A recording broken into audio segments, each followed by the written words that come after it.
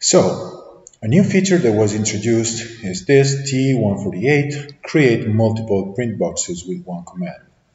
So we go over to Rhino, what this allows you to do is not create just one with, by picking the part, but with this button, it will highlight, it will first, of course, ask you what you want inside the, inside the print box, and when you say OK, it will automatically take you to the different parts. So you see that I have my first part here, and it took me here to my part, and I can apply the print box by clicking the position and then adjusting the rotation.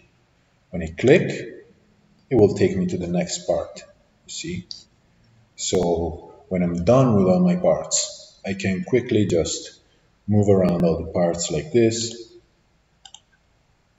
This is too big, so uh, I can right click and it will take me to the next part. And right click again, and it will take me to the next part. I want to place this one here and this one here with some rotation. Then I want to place this over here maybe. And of course, you can right click to skip all the parts.